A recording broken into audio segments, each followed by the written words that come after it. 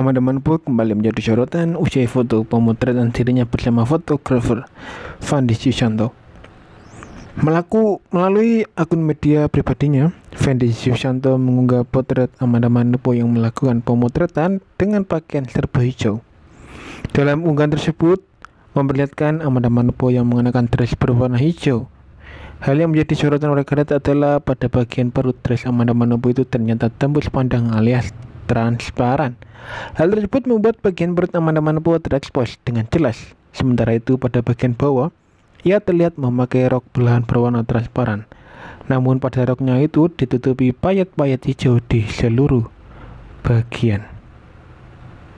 Pada pemotretan pertama The Mystical Beauty ini Amanda Manopo juga pakai penutup wajah transparan seperti layaknya pengantin perempuan pada penutup penutupnya juga terdapat payet hijau tua yang menghiasi kain penutupnya itu.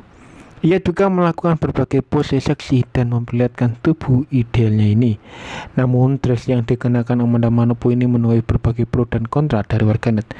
Pasalnya, sebagian warganet menilai dress Amanda Manopo itu terlalu seksi dan terbuka. Apalagi pada bagian dada memperlihatkan belahan dadanya mantan pemain sinetron Ikatan Cinta tersebut. Oleh karena itu, beberapa warganet justru merasa risih dengan dress yang dikenakan Amanda.